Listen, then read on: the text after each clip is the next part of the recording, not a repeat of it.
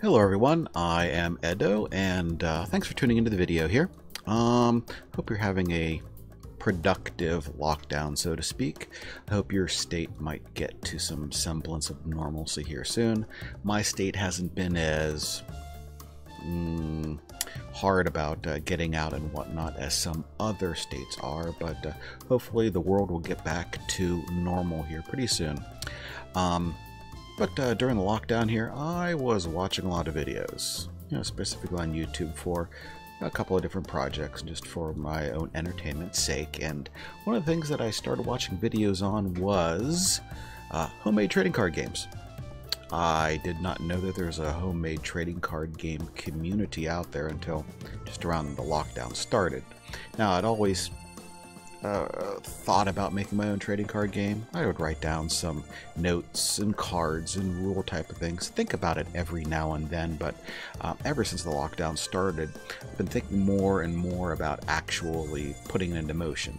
Now, for me here, uh, what I did was that I pretty much have all of my rules set in stone here, and I've been designing some cards and and uh, I need to finalize what I want to include in the first set. And of course, the major uh, final hurdle there is for art.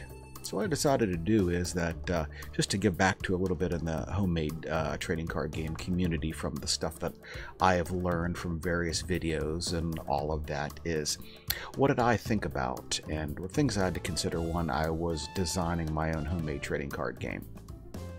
So uh, made up a little presentation here, video, things to watch out for and all of that. Now, one thing that I got to tell you here is that you do not have to do a single thing that I say in this video. If you already have all your rules and your cards and everything, if it's set in stone, more than likely you're not going to be able to benefit from this video.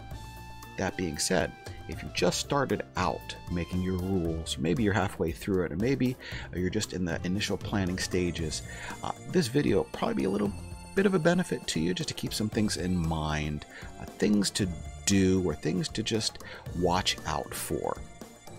So, what I learned from making a homemade trading card game uh, so that you can do it too. So, why create a trading card game? Of course, everyone who has played a trading card game says, I could make one. Easy enough. Everyone's considered it at one particular point. There's nothing really wrong with that. Mean, TCGs are fun, collectible, and allow you to continually make and improve something, i.e., like a sense of growth. Almost like a real life, say, role playing game, where when you make cards, you start out with a certain number of them and you see how the mechanics work, and then you further evolve and expand the game with additional cards, additional storylines, effects, all those kinds of things like that. Now, uh, before we start to get into the real meat of what uh, this video is, uh, let's all be realistic here, is that you're not going to be able to make a living off of a homemade trading card game. It's not going to happen unless there's something really, really, really, really spectacular in your game, uh, you're not going to be able to make a living off of it.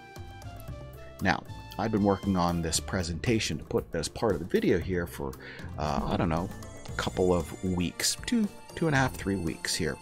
And coincidentally, I think it was last week that Zack from the Chaos Galaxy, and if you're not familiar with the Chaos Galaxy, it's one of the more prominent homemade trading card games that you can see on YouTube he posted a video about how much can you make from a trading card game, or more specifically, a homemade trading card game. And he went into it, he gave us all of the concrete figures. Now, the long and the short of it is, he makes roughly $100 a month off of his trading card game, and roughly $100 a month off of YouTube views. Once again, that depends on sales, of course, uh, on the trading card game end, and then the views that he gets from YouTube. Um, so he makes roughly about $200 a month, and I'm pretty sure you're aware that that's not enough to make a living on. So, what I want you to do is, if you're going to be creating your own homemade trading card game, I want you to be realistic about your expectations of what it's going to be. So, what you need to do is, and as Zack stated in his own video, is that you do it as a hobby because you enjoy it. He enjoys trading card games and he enjoys drawing. And I believe maybe his major in college is some sort of art related one. I'm not 100% sure, so don't quote me on that. But he does it because he enjoys it. And you know what? I think a lot of people who would get involved in making a trading card game would also enjoy it. But the other realistic thing that I want you to think about is that it also takes a lot of time and dedication. We'll go over a couple of those different things when we get into the rest of the presentation here.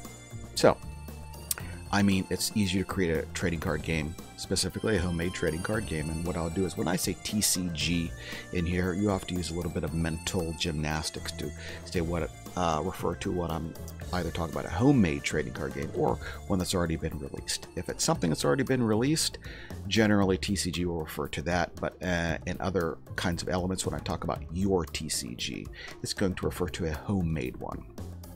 Now, once again, it's very easy because you've got a lot of different sites that can do things. Uh, prominently right now, the Game Crafter, even though it's on lockdown, of course, uh, they do things like printing up their own cards. You can do booster packs, booster boxes, starter decks. Um, rule books, you can put components and dice and all sorts of stuff into your game. So it's actually pretty darn easy. Now, on uh, using GameCrafter, I've I've only put up a prototype of a card game that I uh, eventually need to finish up, a non-collectible game, and it, it's actually pretty good. The card quality and all of that is really really nice. If you've purchased some items through the GameCrafter, you probably have already seen the type of quality that it can do. Uh, in addition to that, there is an actual homemade TCG community where lots of different people uh, uh, on YouTube.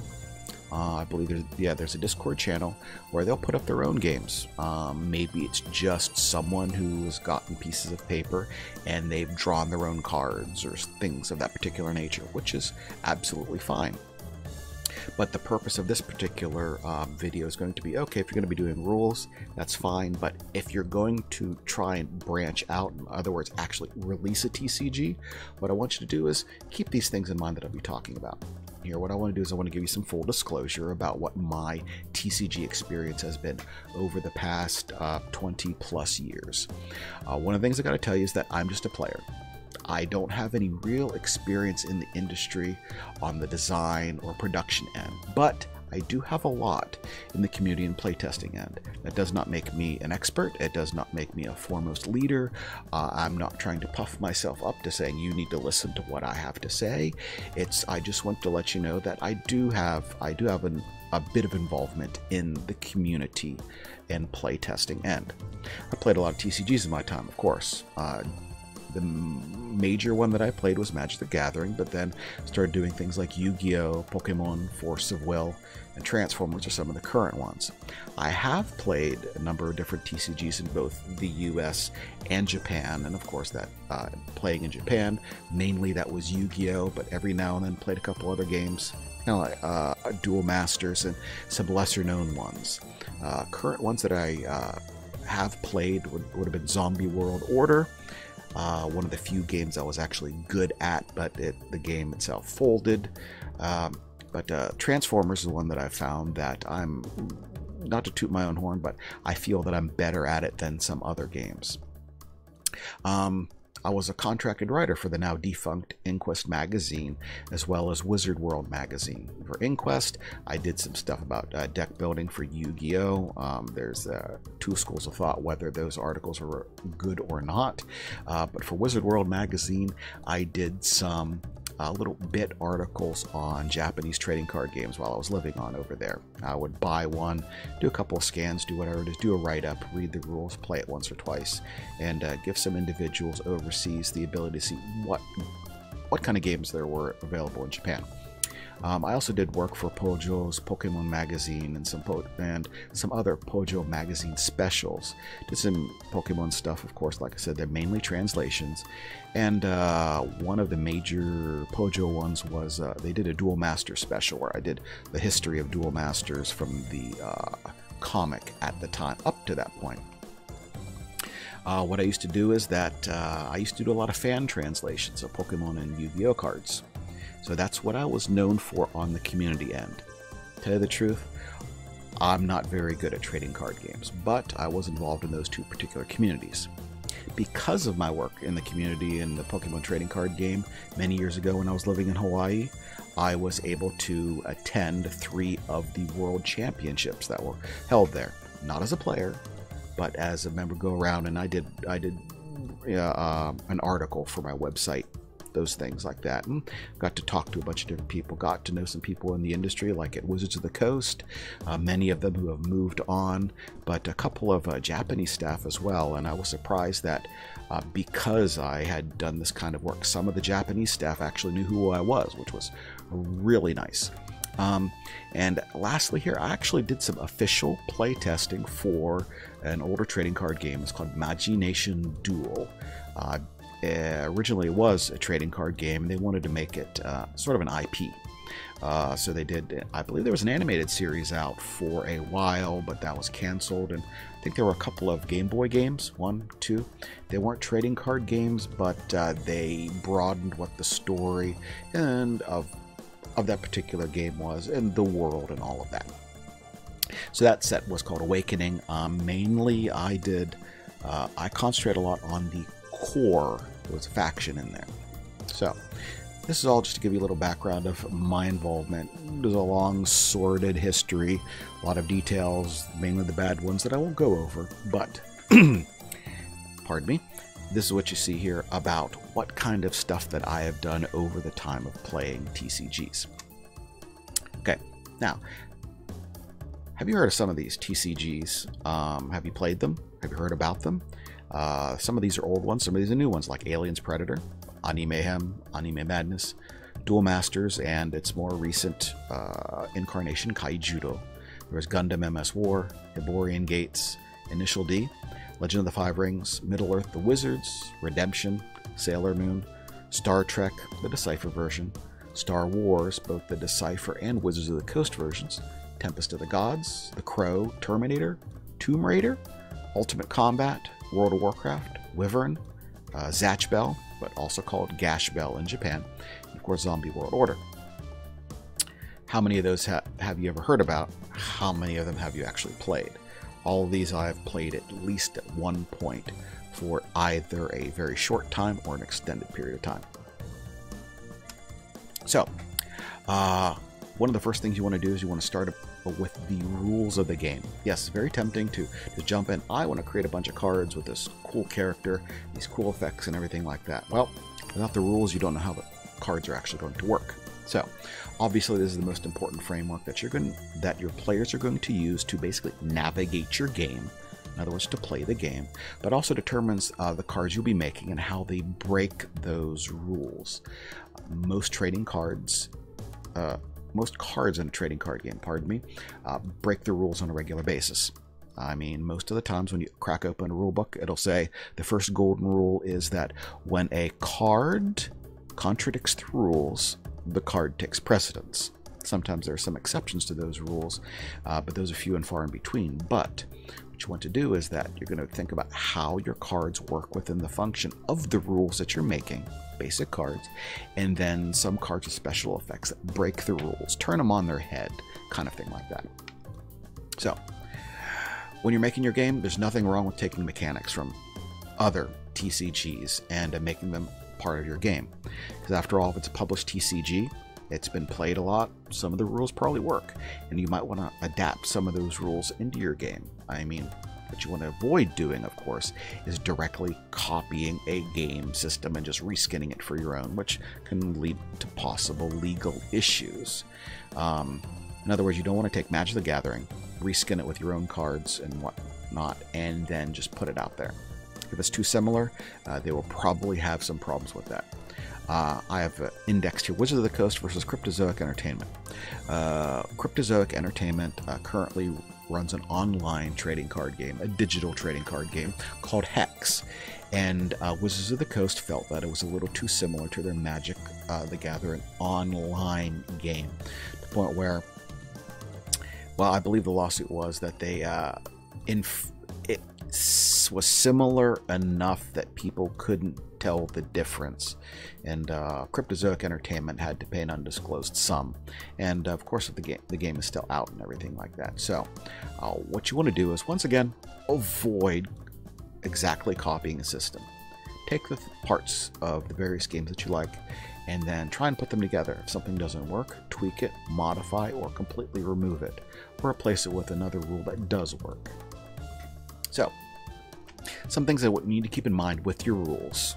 Some things to, when you're designing your rules, think about these. Win conditions, your deck size, composition, and your hand sizes, uh, your resource system, if you're going to have one, how the turns of the game flow, and of course your combat system. Generally, combat is uh, something that every game has, unless you're running a very uh, untraditional trading card game. But you want to see how those combat rules work.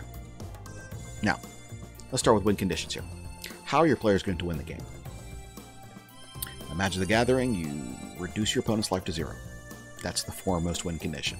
Yes, if you've played Magic, Yu-Gi-Oh, and some other games, there are some other conditions in which they can win the game, but first and foremost, that is the way to win the game. Now, we can divide these basic win conditions into about five different systems that I have down here. There are probably a couple more, but these are the most prominent ones. It's going to be a life system, there's going to be a shield system, a damage stack system, a deck out system, and some alternate win conditions. Now, your game is not going to use all of these. Uh, you may use one or two, but these are the foremost types of win systems that you're going to be encountering in a lot of the games that you play. Now, starting with the life system. Uh, basically, you have a starting life value, and when your life is reduced to zero, you lose the game. You're, so, in other words, your whole goal is to make sure that you stay above zero and you reduce all your opponent's values to zero. Generally, games that use this are Magic the Gathering, Yu Gi Oh!, Force of Will, Buddy Fight, Zombie World Order, and even Wrath of Kors, which is one of the homemade trading card games. My personal opinion is that this is the most balanced system, and the threat level of a creature is based on how much damage it can actually do. So, in a life system, uh, a creature that doesn't do a lot of damage, um, its threat level is relatively low. The more damage it does, the higher its threat level. Of course, this is ignoring some effects that may go along with some uh, small but powerful creatures. Um, but right now, what I just want you to keep in mind is that basic representation of threat level based on how much damage it can do. Now, what we do is uh, uh, talk about Legend of the Five Rings used an expanded version of the life system called Honor. Technically, you could put this under the point system, but since there is a predetermined value that could cause you to lose the game, I've included in this particular point. Uh, card effects, you know, recruiting certain characters and destroying enemies in Legend of the Five Rings gave you more honor. If you started your turn with 40 honor, you won the game. This was a core mechanic of the game. However, if your honor was ever reduced to minus 20 or below, you would be removed from the game. Another variant of the life system was used uh, by a game called Anime Madness. Um, this game never really got off the ground apart from some starter decks. And as a matter of fact, when the game came out, I actually communicated with the designer at the time. Now, Anime Madness was was basically a reskinned Magic the Gathering. It had some tweaks to it, but for all intents and purposes, it was Magic the Gathering, but uh, there was no uh, colored mana in there. It was all colorless. But in Anime Madness, uh, each player started the game with 20 life and and I believe in Anime Madness it was called ratings points uh, because what you were doing is that the players were playing the uh, were playing as animation corporations, you know, television stations, kind of thing like that.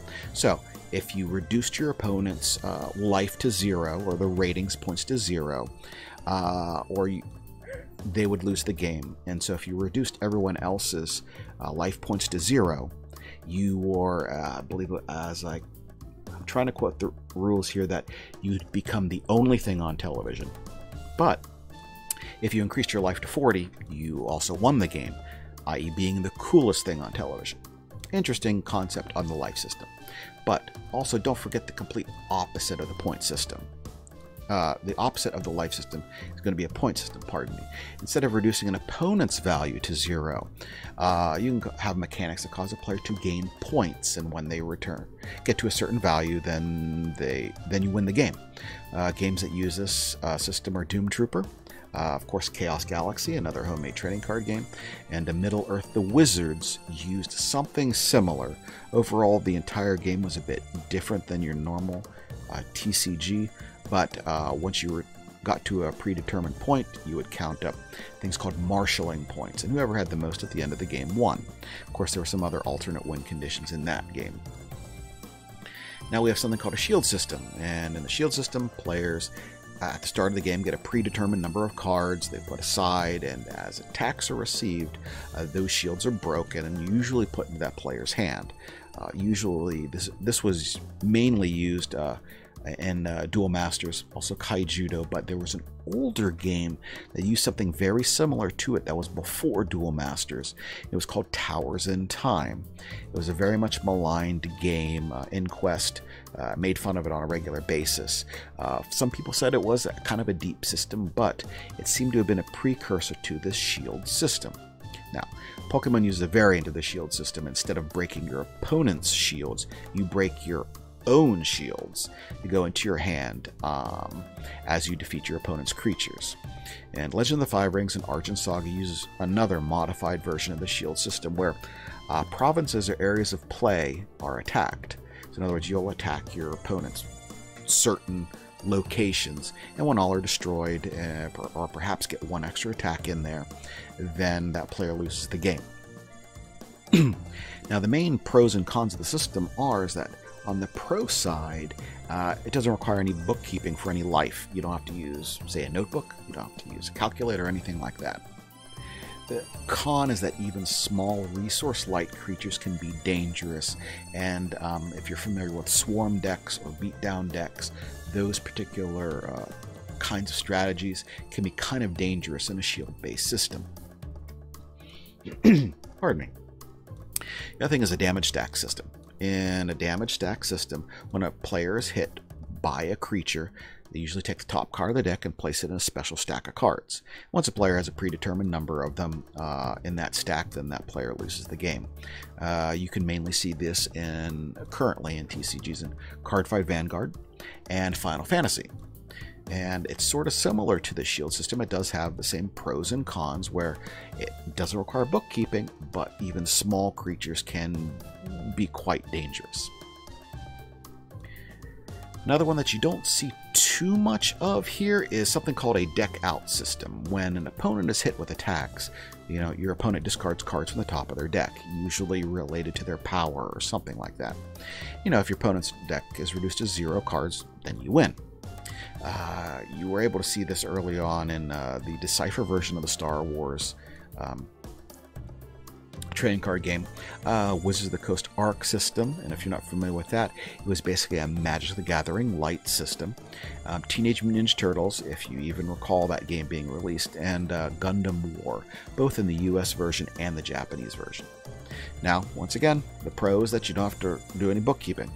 Uh, the con is that as you take damage, your options are severely reduced, preventing you from playing the game. Personally, I like the way a deck out system looks, and it's sort of uh, gratifying to see you know cards discarded from the top of your opponent's deck. But I could see that if you're trying to build a particular strategy around a certain number of cards, by bad luck, you could lose the cards before you get to it, and then there goes your entire strategy. So be careful about thinking about this, and we'll talk about number of cards in a deck uh, later in the video here. But if you like the system, make sure that you give players the option to be able to play the deck that they want to play. Now, we talked about some basic win conditions that are fundamental core parts of your game, but what about some alternate win conditions? Some of them could be in your core rules, some of them could be introduced by other cards, because once again, like we talked about, trading card games are made to break the rules, and in this case, add additional rules. Now, think about some alternate win conditions. Do you have any? In other words, are there any other ways to win other than the systems that we just described? Shield, life, whatever it may be. Now, one thing to consider is what happens when a player runs out of cards in their deck. In many games running out of cards in your deck, if you have no cards in your deck and you need to draw a card uh, and you can't, then you lose the game. Do they? Does that happen in your game? Do they lose at that particular time, or is the deck reshuffled and they get to keep playing? Um, or do they uh, continue and the game just simply they just don't get to draw any more cards whenever a rule or effect says so. What you want to do is you want to consider an alternate win condition. Pardon me, there's some sort of small insect flying around. Um, consider an alternate win condition because this prevents a, a, stalemate in the game. This is why uh, in a number of different games that when your deck is empty, then you lose because this prevents an actual stalemate from happening. Once, in other words, it sort of functions as a time limit. So if the main way to win the game doesn't work, you have something else that is like a catch-22. Now, when you talk about alternate win conditions, say everyone knows about Yu-Gi-Oh's Exodia cards, where you get five, all five parts in your hand, you win. Easy enough. Uh, they also have another win condition, which is uh, the Destiny board, or called the Ouija board in Japan, where if you got five particular cards in play, then you also won. Those are not core fundamental rules, but those are things that are added to the game by the cards themselves. Legend of the Five Rings had two additional win conditions. One of them was a core one, one was added with other cards. Uh, so in Legend of the Five Rings, they added five cards uh, called Elemental Rings. Once you got all five of them in play, then you won. And a lot of times the the conditions for playing these cards oh, could be difficult. And of course, there was a certain faction based on trying to be able to do this as efficiently as possible. One of the versions of the Ring of the Void there, you could play it when it was the only card in your hand. And some of the other ones had their own requirements for you be, to be able to put them into play. And once again, once you got them all, you win. It was called an Enlightenment Victory. They also had something called the Black Scrolls, and this was part of the storyline of Legend of the Five Rings. And once you had so many different Black Scrolls um, attached or used, uh, once a specific event came up here, you can see on the screen called the Darkest Magics. If a player had already used or attached seven Black Scrolls, they scrolls, they win the game at the beginning of their next turn. If a player ever uses all 12 Black Scrolls, then they win the game immediately. So what happens is that these were powerful spells within the game. They didn't win the game on their own, but based on the Black Scrolls combined with this event card, of course you can only include one in your deck and it came up randomly, you could win the game. Now, uh, sort of a partner game spin-off to Legend of the Five Rings was Legend of the Burning Sands, and had something called story cards that can be played when certain things happen during the game. Sort of like when I talked about those elemental rings. Well, story cards, when a certain thing happened, you could play it from your hand. And all of these story cards were worth a predetermined number of points. Now you can see down here a little red arrow shows you how many points it is actually worth. And when a player had five or more points, uh, based on these cards, and they won the game, called a story victory. Now, don't be afraid to include multiple win conditions in your game. Like we just talked about Legend of the Five Rings, used a variant on the shield system, used a variant on the life system, and uh, an enlightenment victory where you had a couple of cards in play and you could win. Doesn't mean that you have to include these conditions in your core rules.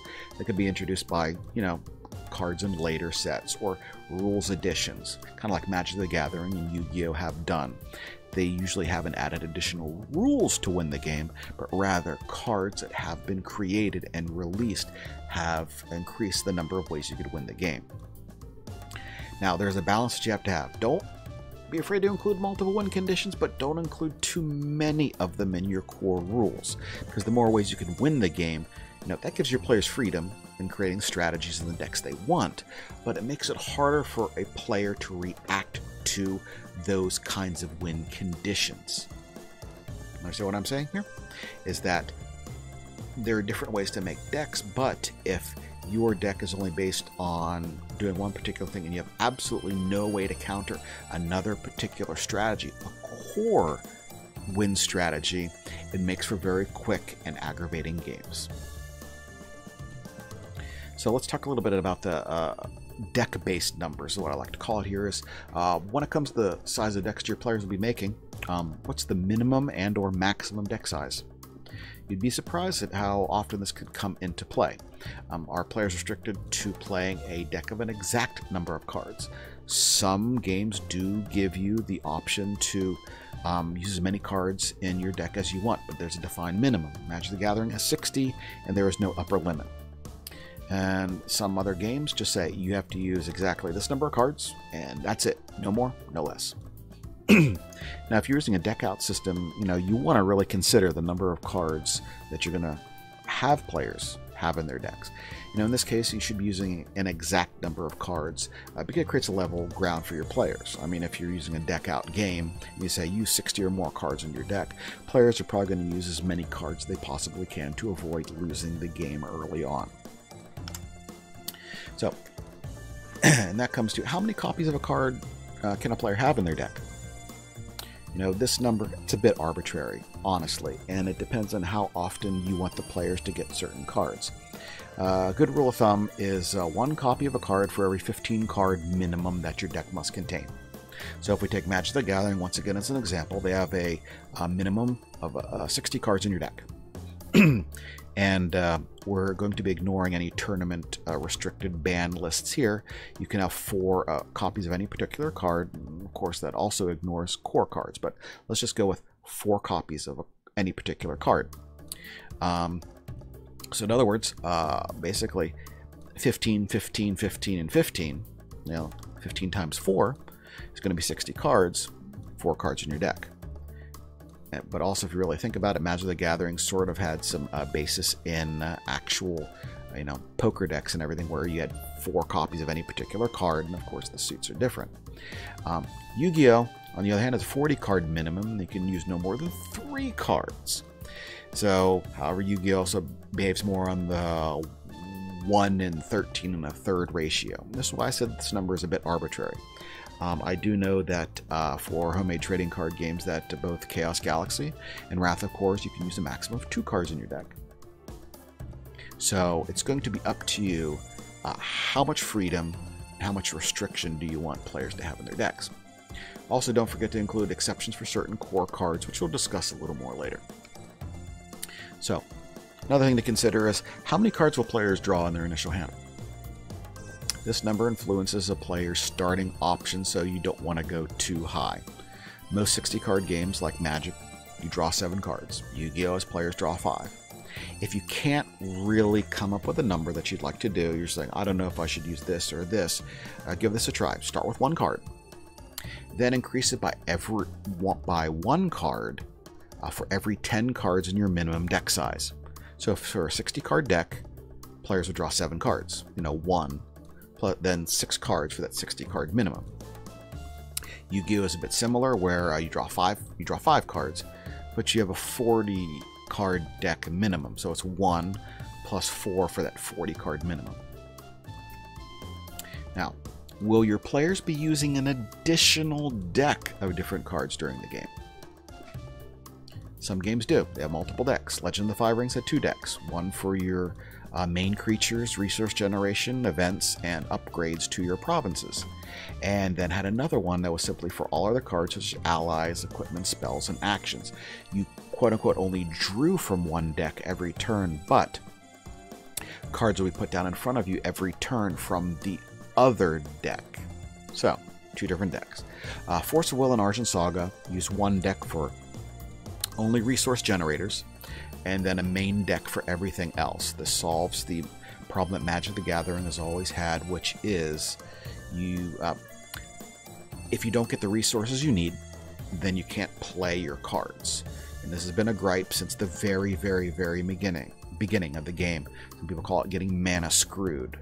Um, you know, and I, I remember one of the terms that I used to use. Oh, the one that I used to use was uh, after you lose the game because you don't have enough of your research. Look through. Oh, my land are having a party in the middle of my deck. Force of Will and Argent Saga decided they want to correct that, and they had a separate deck just for resource generation. And of course, Yu-Gi-Oh uses one deck uh, called the Extra Deck for special creatures. Used to be called the Fusion deck, but now you put a whole bunch of other creatures and special equipment cards in that deck, and then use a main deck for everything else in the game. Now, will your players be able to use a small collection of cards between tournament games? generally you don't have to worry about this if you don't really think about uh, you know a tournament level game that you're doing but if you're thinking a little bit ahead and maybe a bunch of your friends will be playing maybe your favorite card store will stock your game i don't know but if you're thinking about a competitive tournament environment are they going to be able to have a small collection of cards not a deck but a collection of cards that they'll be able to use to swap out between games in a tournament if you're not familiar with this, uh, Magic the Gathering calls it a sideboard. Yu-Gi-Oh calls it a side deck. And what this allows you to do is that if you have your deck you start the tournament with and you find out that you're weak against a certain um, certain other strategy, but you don't want to include it in your main deck, you can have those cards in a small collection and say, oh, my player, I lost this first game because uh, this my opponent was playing this thing and I didn't really have anything to counteract it. Well, let me swap out a couple of my cards uh, from my deck into this sideboard to be able to take care of that strategy and may, perhaps not lose the game again. now, talk about resource systems. Are you going to be using a resource system in your game? And what I mean is, is in other words, you're you going to be using cards or rules uh, to generate some sort of currency that players are going to be using to play cards. Perhaps not just play cards, but also play abilities. Magic the Gathering players know exactly what I'm talking about. Having some sort of resource system, you know, at least a simple one, is preferable to having players be able to play an unlimited number of cards during a single turn. I remember watching a video, I think it was a Buddy Fight Championship, and during the very first turn, uh, one of the players took like, I think it was five to eight minutes just on his very first turn. If you really think about it, eight minutes is a long time. It might have been closer to five, but the length of time is minimum five minutes. And his opponent was just sitting there basically, you know, the equivalent of picking his nose because he couldn't do anything. And I find that uh, Yu-Gi-Oh is similar in that particular vein. Is that Yu-Gi-Oh doesn't have any core resource system. Yes, you could debate the fact about you know your your tributing or sacrifice or advance, uh, you know release rule whatever side of the Pacific that you're on. Um, but the fact of the matter is there are no real core resources that players use to play the game. Any other use resources that are present that are used to pay costs are generally plentiful. So my opinion is you should include some sort of a resource system or at least prevent players from playing their entire deck in one turn. Now, if you do have resources, do you have multiple types of them? like colors, or you just have one catch-all resource. For example, Magic the Gathering uses cards called lands to generate resources to pay for other cards. Basically, you have them play, you turn on its side, called tapping, produces a resource and use it to pay for creatures, spells, enchantments, or to activate abilities, things of that nature. Uh, Force of Will, Argent Saga, and Wrath of Kors use something similar to that. In general, you can only play one of these resources per turn. Duel Masters allowed you to put any card from your hand into your mana zone upside down to act as a resource. This was one of the items that solved the, once again, getting mana screwed in Magic the Gathering. Any card that you had in your hand could be used as a resource. It's put down in your mana zone upside down and you would tap it to provide resources. World of Warcraft, uh, the trading card game, uh, allowed you to use any card in your hand face down as a resource card. You could put one, uh, just like Magic the Gathering and all these other games that have a resource card, you could play one per turn. World of Warcraft didn't have multiple colors, it just had one, but your deck was based on the faction that you were playing. For example, I'm not up into World of Warcraft, I believe it's Alliance versus Horde, isn't it? Well, those two particular deck types they had, but also later on they introduced a monster faction. And you had to include either alliance or neutral cards or horde and neutral cards or monster and neutral cards so that way the resources you had can only be used to pay for those cards in your deck Pokemon, of course, uses energy cards to power the attacks of your creatures. If you don't have enough energy, well, then you couldn't use certain attacks. Uh, an older game, The Crow, if you're familiar with that, are required to use cards from your hand to produce resources for other cards in your hand. So, in other words, uh, most of the cards in the Crow had two values, as you can see here. Uh, there's one in black and one in white. Uh, the one in black is your uh, attack value, and then the one in white is your defense value. Thing is that the highest number of those two on a card function as two different things the number of resources it could provide, but also how much the card cost. So, in other words, to play this particular card, Confident Crow, its cost would be three. So, of course, there's no difference between those two values. What you would do is you would take another card from your hand that had a three or more resource value and then discard it in order to play this card. Now, Final Fantasy uses a resource system. Uh, its cards are called backups. And what you do is that uh, when, once you tap them, or um, dull them, as I believe the uh, term is in Final Fantasy, is it produces resources, crystal points. But you could also discard cards from your hand to produce resources. A backup would produce one of whatever uh, faction or color that it was, but if you discarded a card from your hand, it actually produced two. Something to keep in mind. Now, this doesn't really mean that you have to have cards to produce these resources themselves. You could do it via an actual rule mechanic. Doom Trooper, um, doesn't matter if you're really familiar with the game or not, but it gave you five to start out the game with and then by taking a special rule action during your turn, you could gain another point. These resources carried over from turn to turn with no maximum.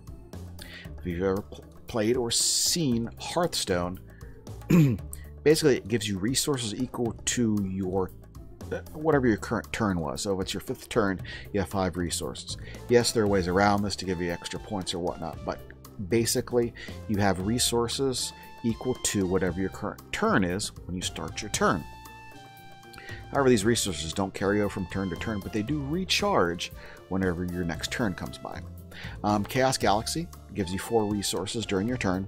Uh, he, uh, Zack calls these stars, um, and they're used to pay mainly for your creatures, but some um, resource car- some actual resource cards, I believe what it's called, uh, require them. And you can have a maximum of 20 stars. And you use, also use those to put out your battle zones and your resource zones and your creature zones. now, what I want you to do is consider uh, how the turns of your game go. Basically, the flow of the game and what order those particular phases come in. Some things to consider are your ready phase, your draw phase, a maintenance phase, a main phase, a combat phase, and even an end phase. Not even an end phase, but you want to have an end phase where you clean up a lot of stuff that goes on. Ready phase. So, if your game includes a mechanic where you designate that a card has been used in some way by turning it on its side, we'll just use the term exhausting it, uh, then during this phase you will ready all of them by reorienting them. That way they can be used again, whether it be for attacks or special abilities. Of course, this phase is irrelevant if you don't have an exhaustion mechanic in your game.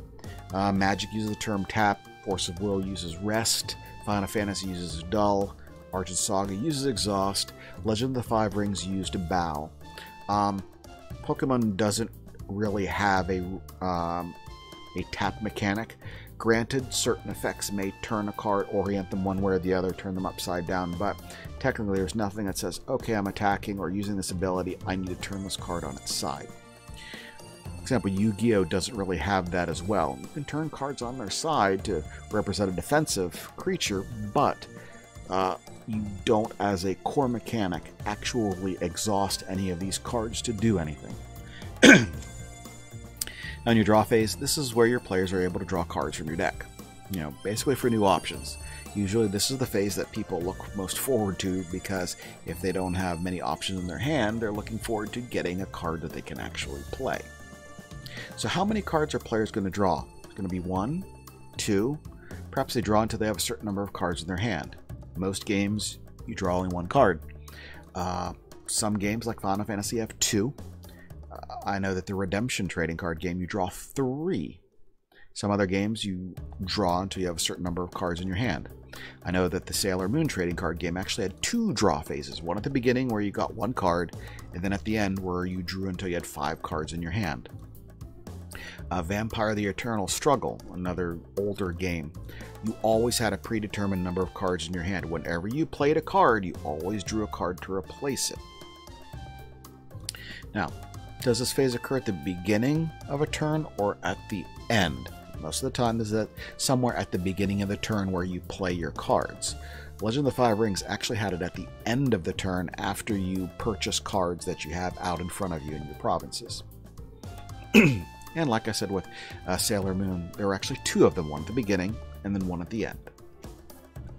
Now, here's a maintenance phase. Is This is where players will usually do a couple of effects, usually to maintain cards that they have in play, some sort of maintenance cost. Uh, Magic the Gathering Yu-Gi-Oh! says, hey, during your whatever it is phase, do this or destroy this card. Basically, it's something to. Usually, powerful cards have some sort of a drawback, and sometimes they are paying something or doing something during your maintenance phase. Magic calls this phase the upkeep phase, Yu Gi Oh! calls it the standby phase. Now, during your main phase, this is where most of the action is going to take place with players playing your cards, creatures, events, items, locations, whatever it may be. If you don't have a resource system, like we talked a little bit earlier, and I said limiting the number of cards that someone can play, can players play anything they want, or is there some sort of limit or a restriction for them to actually play those cards? Magic Force of Will, you had to use your resources order to do that. As long as you have the resources, you play any cards you want. In uh, the Redemption trading card game, you could play anything you wanted without real restriction. Uh, however, there are some cards that only work with certain colors, or, the, or as they call it in that game, brigades. So this particular enhancement can only be used on gold, or whatever it may be, or um, the silver brigade, whatever it may be an older version of Gundam War, the Japanese version. Now, they did have one in the US for a, a very limited time period. I was overseas, so I didn't get to actually purchase it or anything like that. But you could only play uh, one unit card, one generation card, and one character per turn, as long as you had. Um, as long as you had resources. When I talk about resources, there was these generation cards didn't actually tap. It says this is the amount that limited the kinds of cards you could play. All of the units and everything like that had you had to have this number of generation cards in play. Didn't have to tap them, just had to have them in play.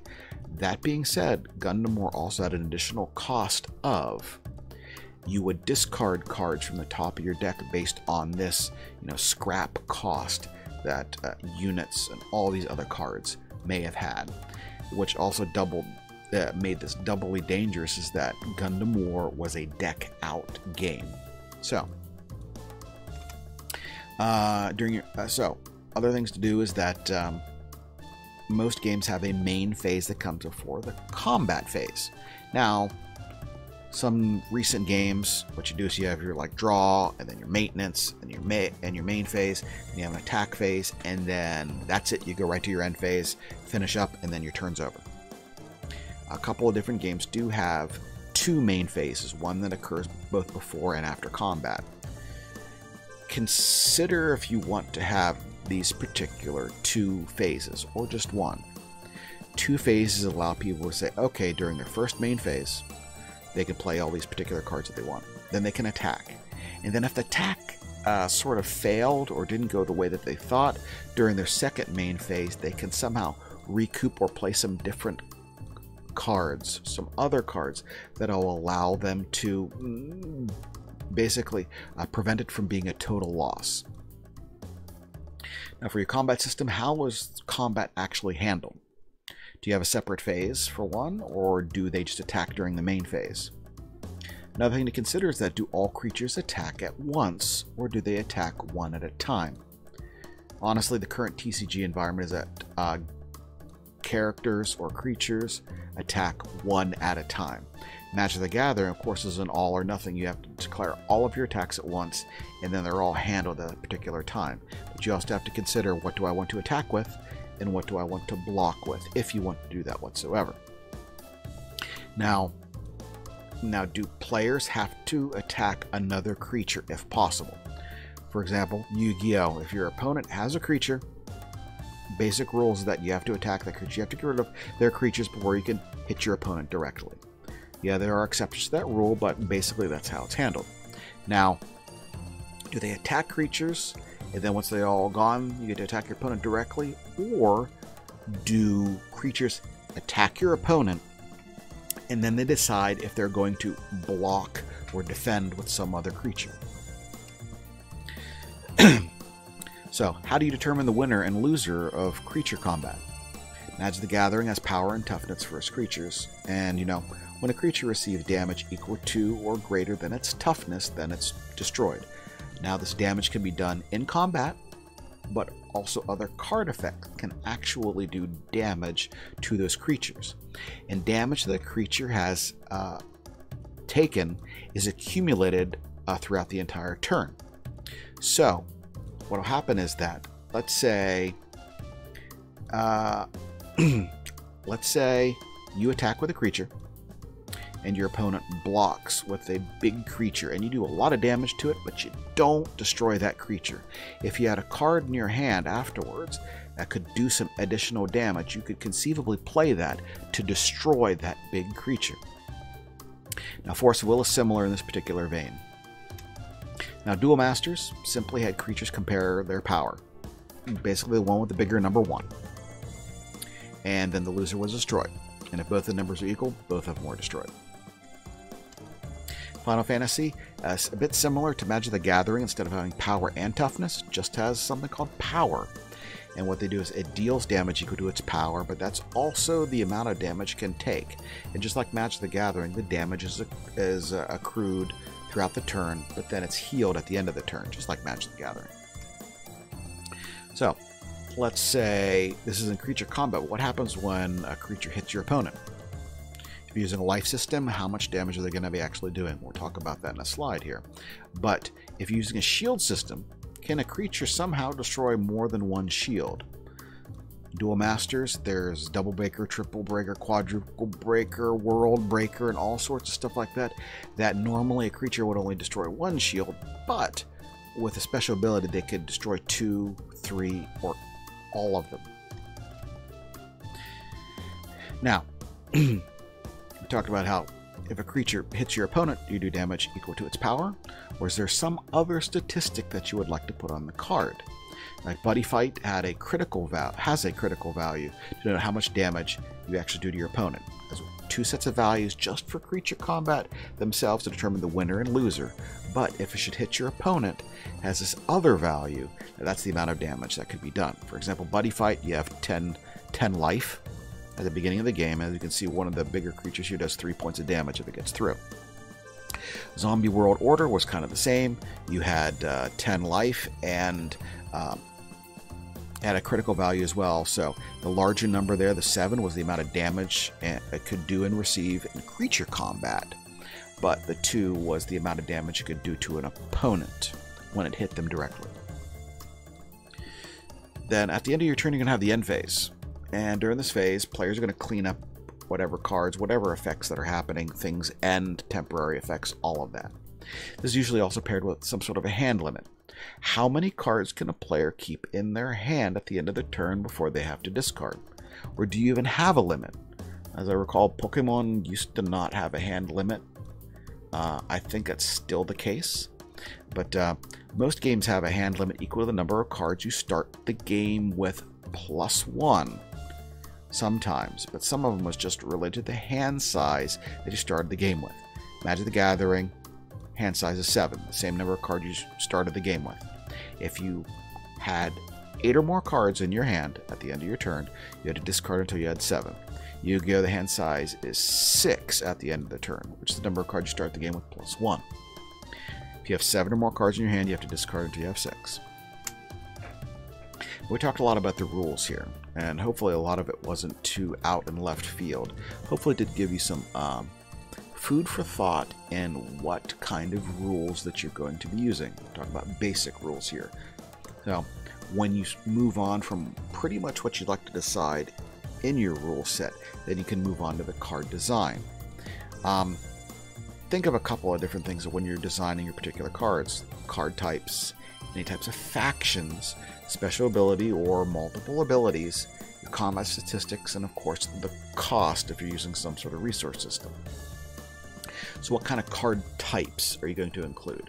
This is not just, this isn't related to the factions, but the kinds of cards that you can actually play, like creatures, um, events that can be only played during your turn, uh, events that can be played out of turn, you know, items, things that simply exist, but some that need to be attached to another creature, and even some locations that you may have. You know, some games include something called a partner card, which you start the game with. You start it off to the side here, and uh, it's not usually included as part of your deck, but it gives you some sort of additional ability, states what your faction is, and um, is always available usually to you as the player. Like Legend of the Five Rings had something called Stronghold cards, which basically stated what your faction was. It sort of affected your deck building, but it gave you starting honor value. Remember how we talked about that honor life point system earlier on? It gave you a starting value, uh, but um, it also stated how strong your provinces were, how much damn, basically how much power it took to destroy them, but it also gave you some resource generation at the start of the game. Legend of the Five Rings did have resource generator generators that you paid for that you would use in later turns to play uh, pay for more cards, but this gave you a starting option to be able to play certain cards. Um, Magic introduced a card type. Uh, it's only used in you know special formats called Vanguard. It uh, gave you a special ability, but it also affected your starting hand and starting life sizes. And then Magic also has a format called Commander, which allows you to use a creature. Any kind of creature doesn't need to be a special one. Uh, that it affected how you built your deck, but also you could play that card um, from what is called the command zone. It was always available, so as soon as you had the resources to play it, if you wanted to play it, you could play it right from there. It got destroyed or returned to the hand, it went back to that commander zone. Now, Argent Saga has two partners. One is called a champion, one's called a spirit. And you weren't limited to just the same, I'll use the word color. You could use one champion, a completely different colored spirit. Now, if you had the same color, um, those are the only cards that you could actually include in your deck. In other words, that particular color. Here we have two dark um, based cards. If your spirit and your champion were both dark, you'd only include dark and neutral cards in your deck. But if your spirit was a different color, there's a number in the upper left, and that tells you how many of that spirit's color worth of cards you put in your deck. So this one, let's just say this um, spirit card was actually blue. As an 8, you could include most of your deck must be dark cards or neutral cards, but the spirit allowed you to include 8 blue up to 8 blue cards in your deck. Now, Force of Will has something called ruler cards. Starts the game next to your deck, kind of thing like that. It gave you special abilities, but also it could be flipped over to turn into a creature that you could use during the game. So you weren't, you know, SOL if you couldn't have a, a creature out. World of Warcraft had something called hero cards, gave you special abilities, but also controlled your starting life and technically represented you, the player, kind of like most partner cards do. But it could also be flipped over, just like the Force of Will ruler cards, to give you some sort of other ability. Some had just like a simple one here, some had certain abilities on one side, none on the other, and vice versa. Chaos Galaxy, of course, has a planet card which affects creatures of that planet in a positive way. You include creatures of whatever um, planet that you wanted, but chiefly your planet card gave a bonus to creatures from that planet. Of course, Wrath of Kors, um, they have a core card um, which determines your starting life value or hit points, but also gave you one or more special abilities. Not only that, it also gave you resource generation at the beginning of the game so you weren't always out of luck. Now we talk about factions. Now we're not talking about card types here. Talking about this is if you're familiar with Magic the Gathering, Force of Will, you get whatever it may be. These are the color types or elemental types that they have.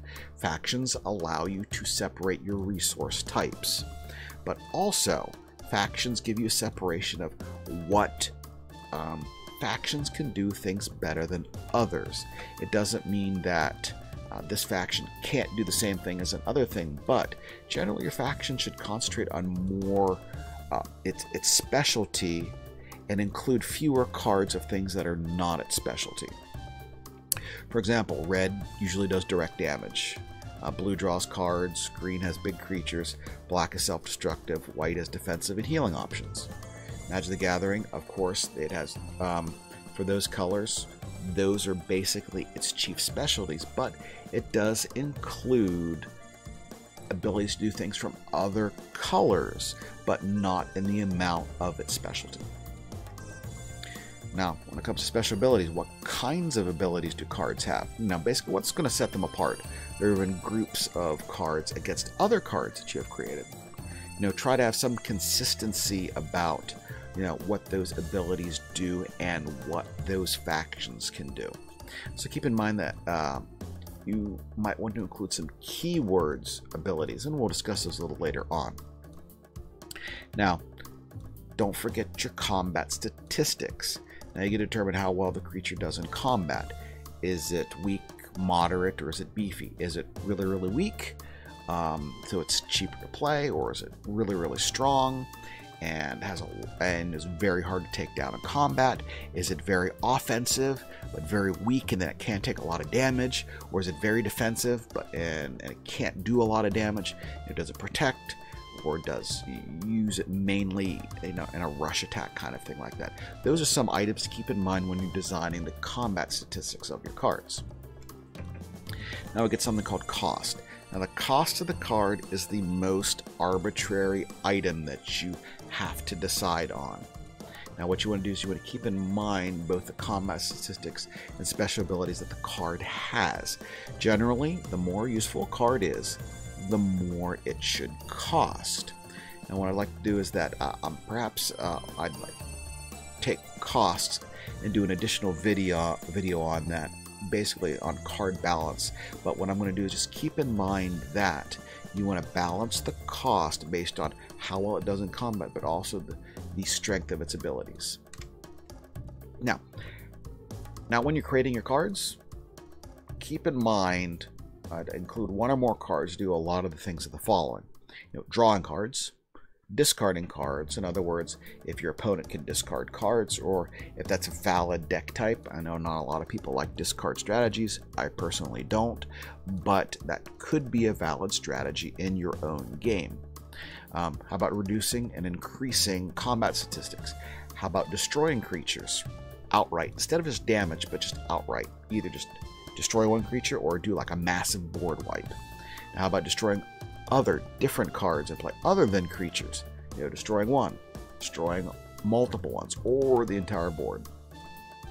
How about something that revives creatures? How about cards that generate resources?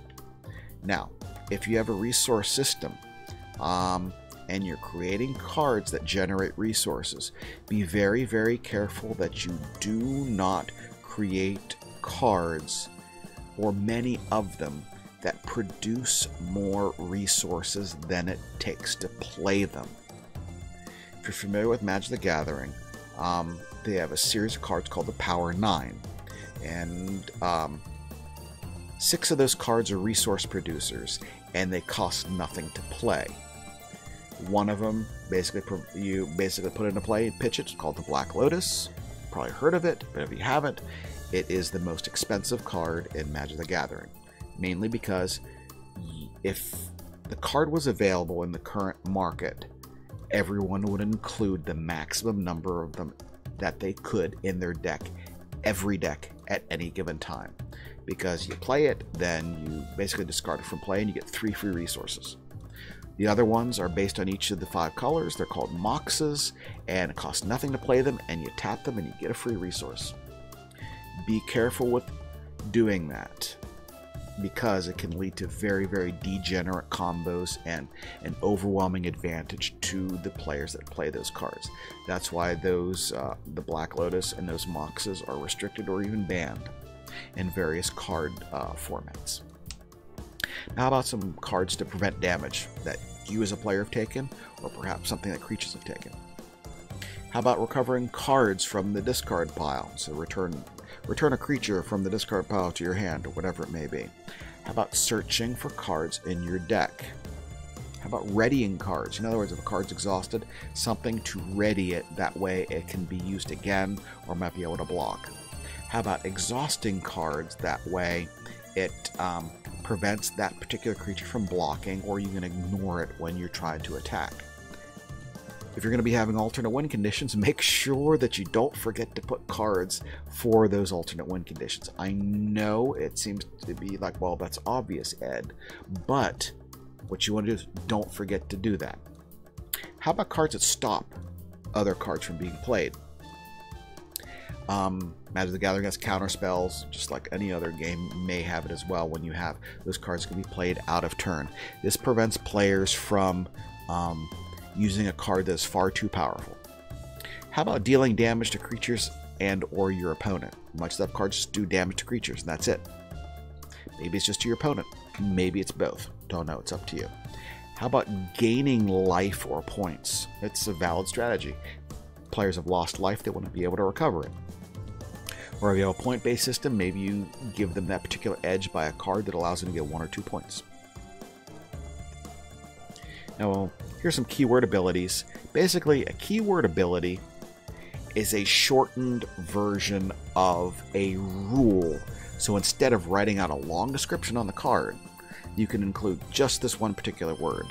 In Magic the Gathering uh, used to not have reminder text, but some cards do still have them. It's just that in your game, this basically, if anything, it is for you to be able to get more text onto your card.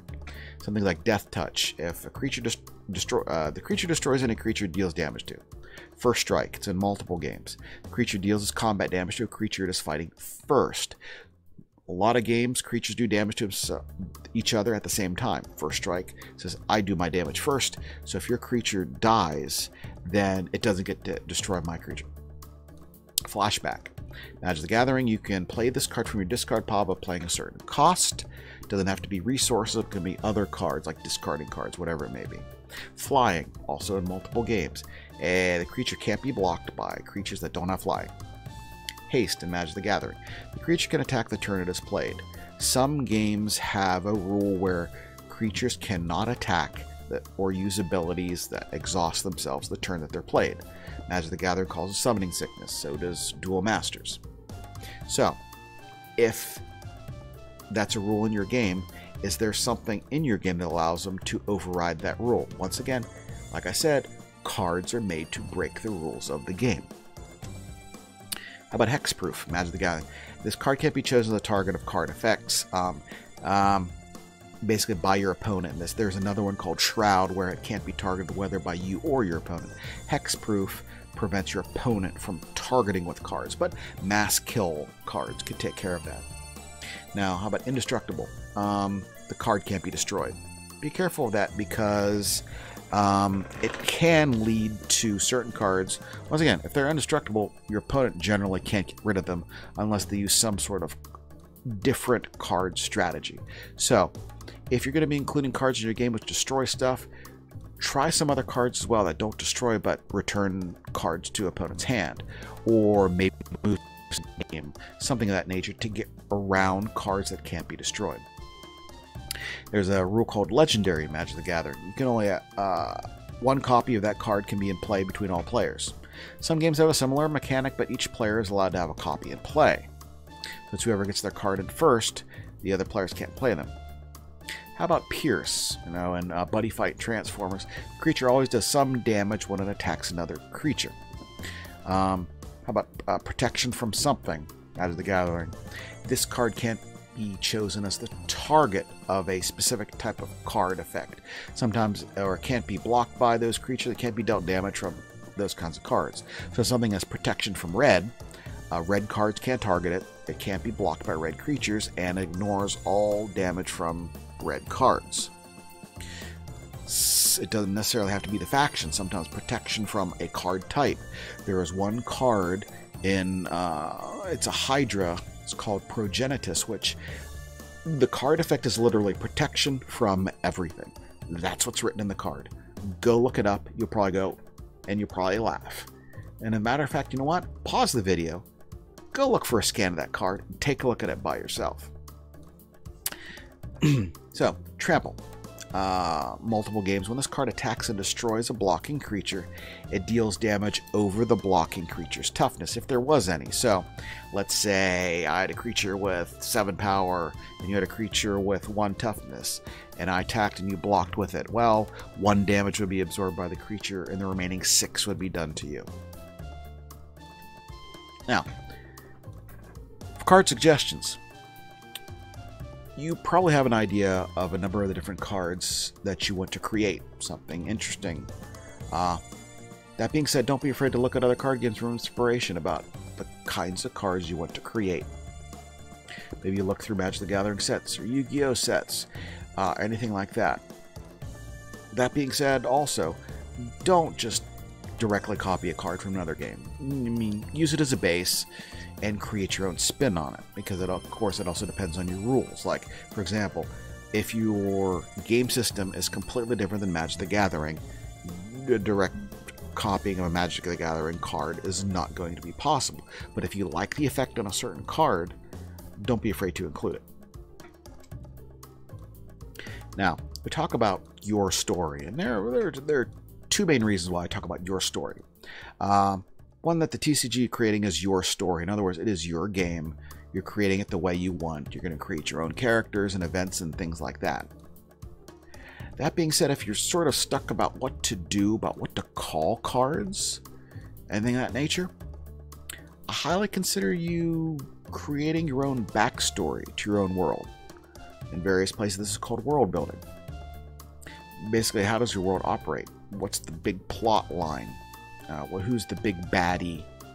What are some literal events that have happened in that particular world of yours? And this can give you inspiration about what kinds of cards to create and also what to call your cards. It gives you additional lore and perhaps even flavor text for your cards as well. Let's just use an example Star Wars, Lord of the Rings. Um, they're licensed properties, but they have dozens upon dozens of years of backstory that whoever's creating any product based on those licenses, whether it be card game, board game, whatever it is, they have a lot of material that they can create from. Now, another one is Redemption uses people, events, and relics from the Bible, of all things, when there's a lot of information in there. So, if you want to create more cards or give your world a little more depth, then what you want to do is that try and create a backstory. See what happens. See how much luck you have with it. Now, card templates. This is another subject uh, that I would probably like to create another video on, but I want to include a little information here. Uh, your card template is going to be the thing that people will be looking at just about all the time. Let's try to create something that is basic yet enough that you're going to be able to contain all the information you need for the card, you know, along with its name and picture and um, cost and illustrator and all of that. Know, some creators use Photoshop to do all their work for their art and everything like that. That being said, uh, Photoshop is expensive. I think there might be a student version that you can get for a nominal fee, but there's another program called the GIMP, which sort of emulates what Photoshop could do, but it's also 100% free. that's the one that I use for what I'm currently doing for my own homemade trading card game, but also the other aforementioned card game I talked about a long while ago. Now, if you really can't come up with a template uh, for any cards, you know, the Game Crafter and some other uh, resource sites uh, have usually have a section where you can purchase card templates for a nominal fee, and then you can use them within your own game. Now, card art. This is the one that takes the most time, and a lot of times is a barrier to a lot of designers creating their own homemade TCG. In the homemade TCG community, creators tend to do everything templates, rules, and their own art. Depending on your art style, this can be a plus or a minus. If you don't have a very good art style, if you don't have any faith in your own art style, then once again, it can be a barrier. That being said, your own art style gives the game its own individuality. Don't be afraid to create your own art, whatever it may be. If you happen to have the money, uh, insert your laugh there, you can get art from sites like DriveThruRPG.com or DeviantArt. DriveThruRPG.com, no, I'm not sponsored by them or anything like that. They do actually have a resources section where you can get either single pieces of art or bundles that you can include uh, as part of your game, usually royalty free. Be careful on some of those packages of art because I recall seeing one or two designers that you can use them in your commercial projects, but only so many copies of a commercial product. So, what you want to do is you want to read that sort of royalty free license or how you may use them very carefully before you start to use that kind of art in your game. You can also do search the public domain art that you include in your game. But make sure that you give credit where credit is due. I can't hammer that hard in hard enough make sure that you give credit where credit is due when you're using art, especially, you know, ones that you purchase, things of that nature. now, talk about card rarities. Uh, for the most part, up until Pokemon, the TCG generally had three main rarities. They had uncommon, uncommon, and rare. You got one rare pack, couple uncommons, and the rest are going to be commons. Technically, you could add that some games had starter deck exclusive cards, but you know, for most part, you could consider those to be common.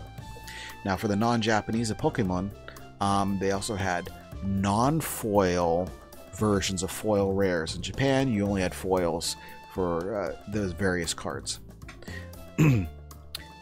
However, I should add that some earlier games had something called a chase card that were rarer than a rare card. There would be nowadays you would refer to those as a super rare. Magic the Gathering continued that um, common, uncommon, rare pattern until 1999 when they introduced foil cards. And for Magic the Gathering, a foil card is not a separate rarity so to speak. Rather, what it is that there's a foil version of a card that already existed in the set. So it's almost like a parallel set of cards. Um, and then what they did was they uh, inserted the mythic rare level of rarity in 2008. And you could consider that to be Magic the Gathering super rare card because it's only in so many packs. Now Yu-Gi-Oh! of course has to have the most card rarity types, hands down. You know, they've won they've won the battle on that. Common, rare, super rare, ultra rare, secret rare, ultimate rare, each being more difficult to get than the last. There are far more of them, but you know what? I'm not going to go into it here because that's a little too far into the weeds for this video here. Okay, I'm going to talk to you. Yes, you. Watch this video right now. If you're creating your own trading card game, you are going to create cards that are too powerful. Or cards that you introduce in a later set are going to be found to be too powerful when combined with cards in an earlier set. It's a fact of life. Your players, especially if they like to play your game, are going to do what they can to find a way to break the cards that you have. If possible, they will attempt to find an infinite loop to be able to win the game in one turn. Happens in Yu-Gi-Oh! and some other card games as well called One Turn Kills. It's going to happen unless you put a lot of time and thought into the cards that you're actually creating. Even when you do that, it's still going to happen. I'll give you a perfect example uh, for when the Sailor Moon trading card game came out many, many, many years ago. What, 20 years ago? Um, I bought into it. I played it for a while. And um, when the game came out, I started testing a couple of different deck types based on the cards that I had. And three days after the game release, I found a infinite loop. I could win the game on my second turn. That's what players do. They're going to attempt to find cards that are too powerful and abuse them as much as possible. Give me a question here. Take a look at the card on the screen right now. This is a card from um, Duel Masters. Kaijudo. Um, take a look at it, and I'll go over what it is here. Now, the name is Bombazar, Dragon of Destiny. That's his name. Armor Dragon, Earth Dragon is uh, technically its um, keyword faction, but this card, uh, color-wise, it's red and green. And um, just to give you a little basis, Duel Masters is basically Magic the Gathering Light. Has a shield system and basically functions like Magic the Gathering with a few tweaks and changes here and there. Now, uh, down there in the text box here, it says the this creature is put into your mana zone tapped. So, like I said with uh, Duel Masters, you can use any card from your hand, and you can put it down in your mana zone to provide mana of whatever color it is. Usually multi multicolored cards put in tapped because that was the drawback to having something that could provide multiple resource types for your deck. Now, its next effect is when you put this creature into the battle zone, destroy all of the creatures that have 6,000 power. This prevents you from playing multiples of this particular creature. But the next part is take an extra turn after this one. You lose the game at the end of that turn. Next effect is a speed attacker. This creature doesn't uh, doesn't get summoning sickness. This is the equivalent of haste in Magic the Gathering, where it can attack the turn it's played. And the last thing is Double Breaker. This creature breaks two shields. Once again, it's a shield-based game. You have five shields, break them all, attack your opponent one more time, and then you win. It also has 6,000 power. It's not a very powerful card based on combat statistics alone. Um, but what I want you to do is take a look at this card again. I'll give you five seconds. Five, four, three, two, one. How strong is this card? Once again, we're going to be doing some balance type of stuff and, and perhaps another video. Um, but I want you to take a look at just this card based on a deck that is created around it how strong is this card? I want to give you the answer here. The card is so strong that it almost destroyed the Duel Masters trading card game in Japan. Those who play the Japanese version of Duel Masters, since it's not available in the US anymore, know exactly what I'm talking about. Um, there was a basically a three color deck that um, abused the ability to get this card into play, take an extra turn, and basically finish off your opponents. As I recall from reading the Duel Masters Wikia uh, and uh, some qualifiers in one region, all of the top decks, all 16 top decks, were variations of this deck type. You get that? All of the top decks were running this card and a deck based around it basically, if you were not using that deck and you weren't using some sort of rush beat down bounce deck, you were not going to win. You just weren't.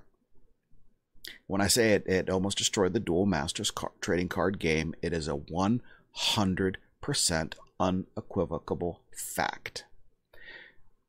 What I do is uh, uh, there is a channel on YouTube called Card Kingdom.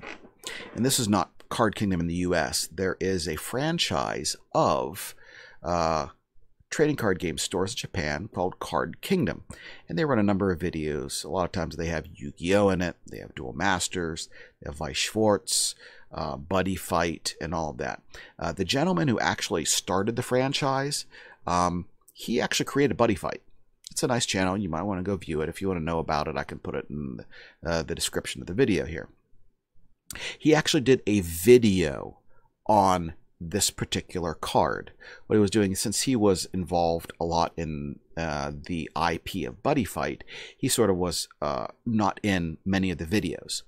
So they talked about some memories they had about the Duel Masters card game. And one of them was, I'll go back here, this card.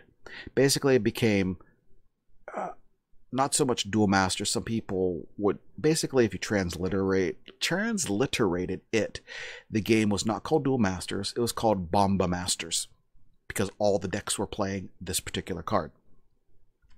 And he went on to say that um, the very first day that uh, the card came out, some of the high level players who knew what was going on brought it to the attention. Hey, look, what you got to do is you you got to ban this card here, at least in the shop, or you got to talk to the the manufacturer, you know, the company, you know, um, Hobby Japan. You say, do something about this card, because um, what it was is that one of the regular players to um, this gentleman's store was uh, normally a shut-in.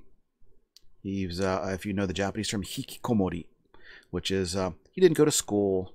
Um, we don't know the the background of this particular uh, kid or anything like that, but he would show up at the store. He was actually rather popular at the store.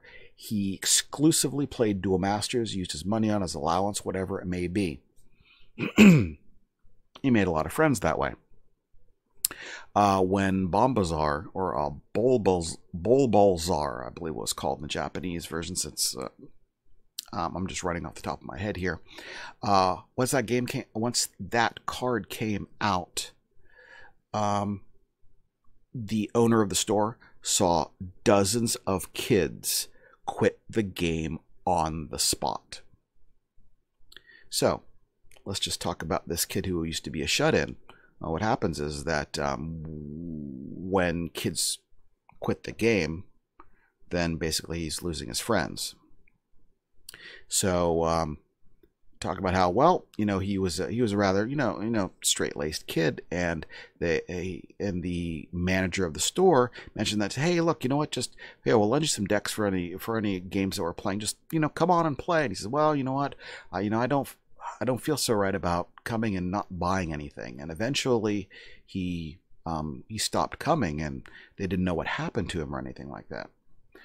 Granted, um, this is a worst case scenario based on this one card that was released.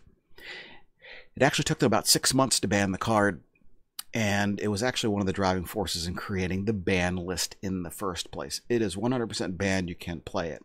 When it was released in the US, it was put on Wizards of the Coast watch list, but fact of the matter is duel masters was far more popular in japan than it was in the us so um, nothing was really done about it. And by the time that it could become popular well the game had folded. So it's not officially restricted or banned if you decide to use any old english cards. Odds are this is not going to happen to your game. I mean creating something very very powerful things like that. I mean homemade TCGs don't have a large market, but what I want you to do is keep the story in mind how one card could actually destroy a very, very popular card game. So, when those cards come out, not if, when, how are you going to handle it? How are you going to handle that card or combination of cards that get too powerful? And usually the most um, usual correction is that the company creates a banned and or restricted list to limit the number of cards someone can put in a deck. Heck, even a homemade TCG like Chaos Galaxy has its um, its limited list or banned and semi-banned list, I believe he calls it. Now, creation of that particular banned or restricted list is to give players a better experience experience by preventing the game from devolving into players only using a few select cards and having one deck type dominate the environment. Like I said about that Bombazar, everyone was, all the high level players were just playing that deck. And you don't want that to happen to your game. The pro is that it limits the game from degenerating into using only certain cards, but of course the con is that players can't use their full card pool. Banning should be your last resort, you know, restricted as much as possible. Um, but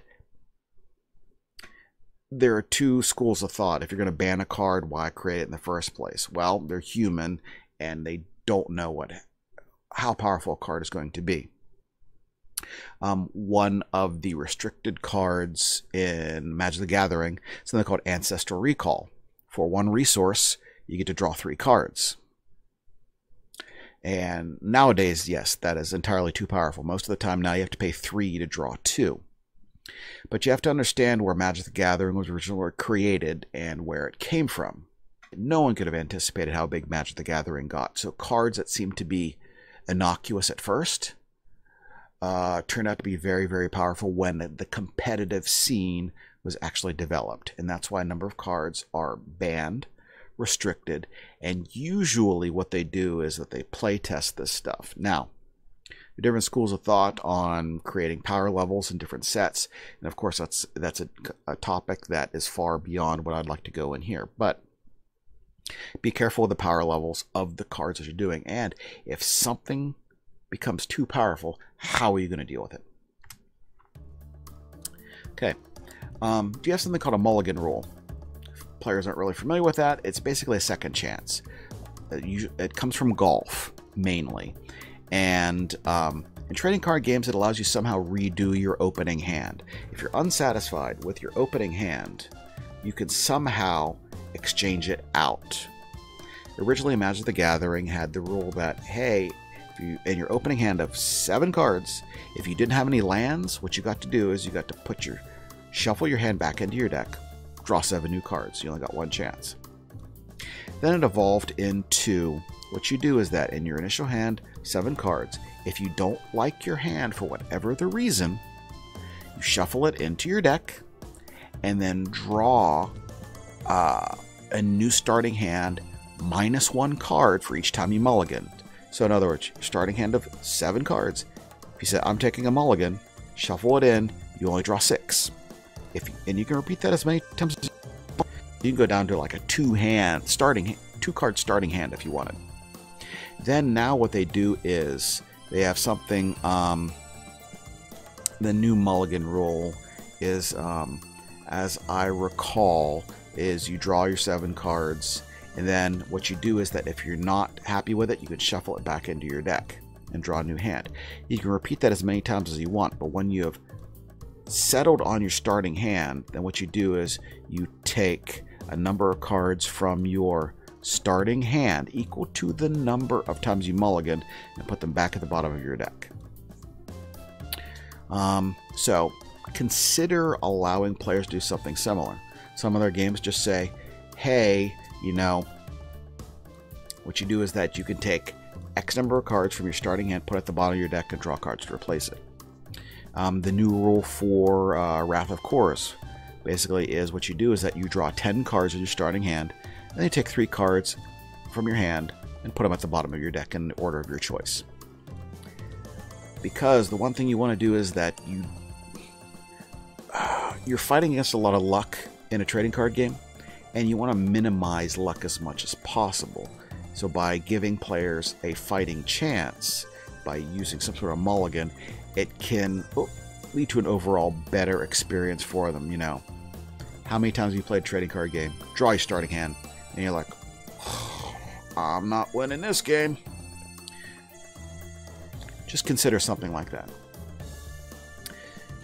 So mainly, that's what I have had to offer in this particular video. If you've listened to the end here or watched until the end, I hope that it's been worth your time. I don't know how long the video has actually been going on here. When I edit it, I'll have to find it out. Um, but if you like this video, you know, leave a comment um, down there. Give it a, a, thumbs up, something like that. Because that way I can find out if people actually like this kind of content. If people like the video here, uh, there are a couple other ones that I like to do. I've got a couple of topics up here that I can think of. At first here, card templates. Of course, I talked about card balance. You know, some interesting card effects from overall from certain games. And what I'll do is that maybe I'll go over some not only English related game, but some Japanese related games, some interesting rules and mechanics, the way that they turn out.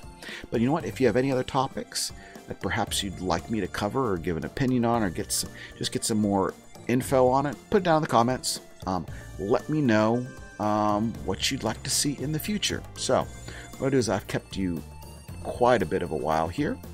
I look forward to what you have to say about it. We'll see you in the next video. Take care, everyone.